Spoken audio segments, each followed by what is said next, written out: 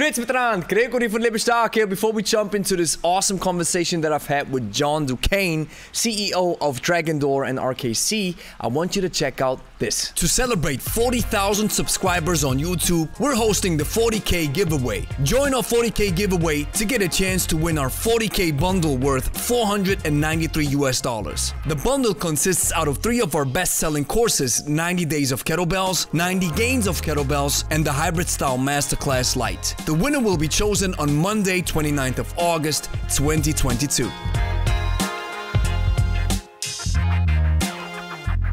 You'll find the link for the giveaway as well as the full conversation with John Du Cane in the description. So, my interest will be what happened with RKC and then Strong First. Why, why did Pavel Sure. decide to say, hey, listen, I'm going to do this on my own now?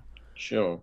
So I think one of the big shifts that happened, there were two big shifts. One was that um, I signed an author called Paul Wade, um, and we came out with a book called Convict Conditioning, which was um, became a monumental classic for um, how to train progressively in calisthenics. And you know, it had six main exercises like the squat, and you could go from just a regular squat to all the way to one-legged, you know, to the pistol. There was one-arm push-up, starting out just pushing up against the wall, and so on.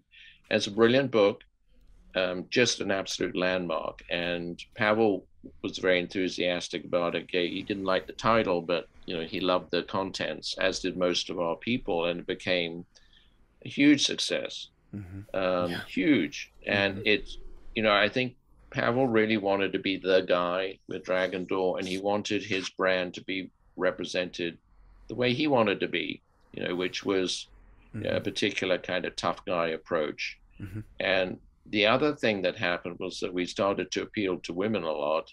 Uh, my my wife Andrea Du Cane, you know, came out with some some very good products for women. A lot of the other female instructors also uh, and about you know 50 60 percent of the classes were women not so much in the certifications but you know very strong Yeah. representation Wow. there and i was Mhm. very much in favor of marketing to women um, as well as men as well as the military and pavel really wanted to focus much much much more on just the um, the military and strongmen and you know that was his shtick.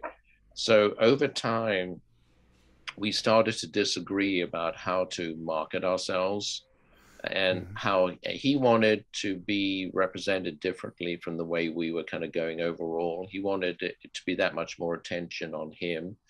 So it became kind of more and more a bone of contention. Nothing was going wrong with our programs, you know, everything was solid. But he just felt he wasn't. Again, I don't want to speak for him too much Yeah, yeah. but he became dissatisfied with the way we were representing him. So um, it got to a point where he just, you know, he he made some ultimatums about how he wanted things to be, and I'm very, we're both very strong-headed people, and we have our own ideas, and I wasn't prepared to back down from where I wanted to be and where I thought things should go, and he felt the same way.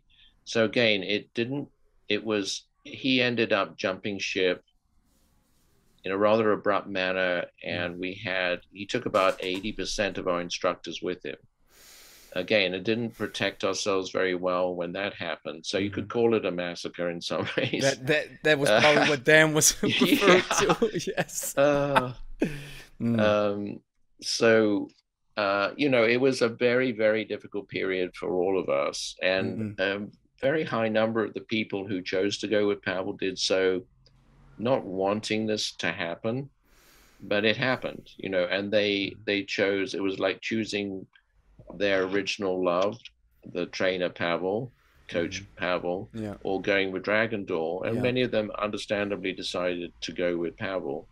Uh, so, you know, Strong First is the the material that Strong First teaches, at least for you know everything to do with kettlebells, is remarkably similar to what the RKC still teaches.